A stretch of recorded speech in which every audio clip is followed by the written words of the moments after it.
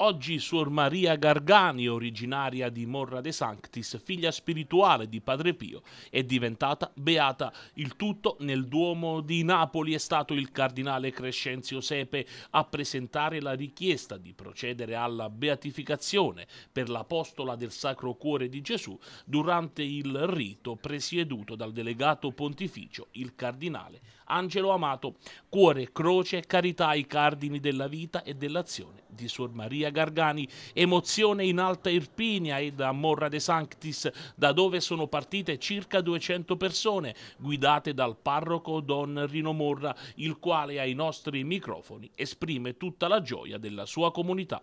La comunità di Morra è grata al Signore e vive giustamente un grande periodo di stupore, di meraviglia, un periodo anche di interrogazioni, in questo tempo particolare essere riscoperti anche per il cammino di una concittadina che ha messo in pratica le virtù bellissime del battesimo, il battesimo che ognuno di noi riceve e quindi vive questi momenti particolari con trepidazione, gioia, interesse, preghiera, si interroga, si interroga a modo anche di riprendere in mano il proprio battesimo alla sequela di Gesù. E abbiamo provveduto insieme, ecco, con incontri nella nostra comunità parrocchiale, in modo particolare anche con le famiglie, in modo particolare i genitori, perché Maria Gargani ha vissuto la sua esperienza giovanissima di essere insegnante. E quale esempio migliore per i genitori di oggi ritornare a prendere in mano la grande missione di essere i primi insegnanti educatori dei propri figli? E quindi poter tramandare loro la bella figura